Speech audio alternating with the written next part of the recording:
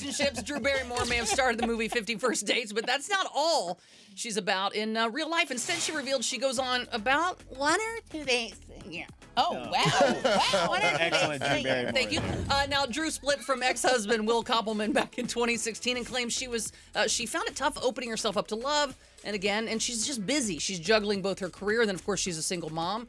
Um, One or two dates a year. That's a hard one because you don't have enough time to. You, I mean, you're not giving yourself enough of a chance to figure No. out what you want. Headkrack Frank Heidi, as the married people here, bringing us your your wisdom. Yeah. How many dates was it in that you knew you were going to get married to your spouse? See, Tanner, I'm like a human phone booth. Like every time someone left my life, another person entered. So like every person was the one. It was just a matter of you know Interesting. All right. who happened to be around when it was time to like settle down. I would take my possible date if I thought she had potential. I'd take her canoeing.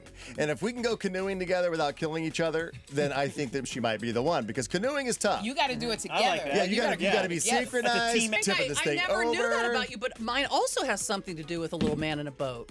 Oh, yeah. Ah. Real like- Somebody just went overboard.